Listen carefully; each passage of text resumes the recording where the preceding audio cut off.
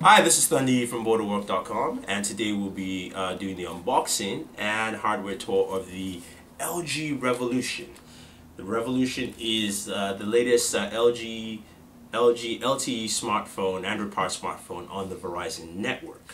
So let's go ahead, and open the box. It's all black and uh, check out the contents. So you open it up, we have the Revolution in there.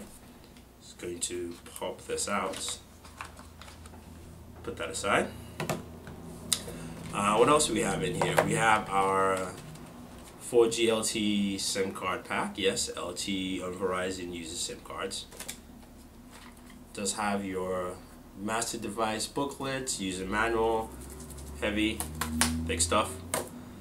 Um, your mini USB cables for data transfer and charging, and of course your travel uh, plug-in charger. And that's pretty much it for the context, contents for the box here. So we're to go in and take a better look at the hardware. All right, here we have the LG Revolution. Um, first thing you notice, it does have a 4.3 inch screen. Uh, very large real estate for you to use. It does have touch sensitive buttons at the bottom here.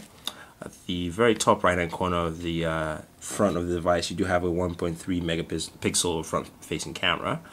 Um, flip it over to the right hand side, still some stickers here. Um, your volume toggles as well as a HDMI ports.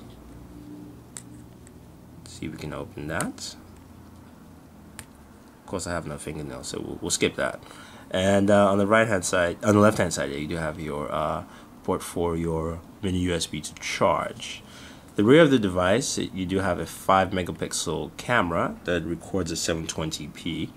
I think I just powered the device on, yes. The power button's on the very top with your 3.5mm jack. And um, let's just go ahead and see the battery here. Open up the battery bay through the bottom. You do have a 16 gigabyte pre-installed uh, micro SD card, of course your 4G LTE Slim uh, SIM, and a 1500 mAh battery, milliamp battery. Uh, to access this, you, both of them, you do have to remove the battery to access your uh, LTE SIM card as well as your um,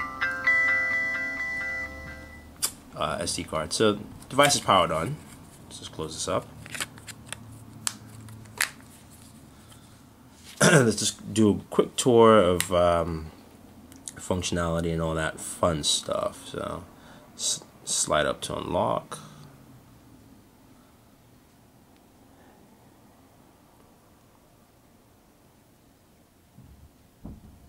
An SD card, all that fun stuff.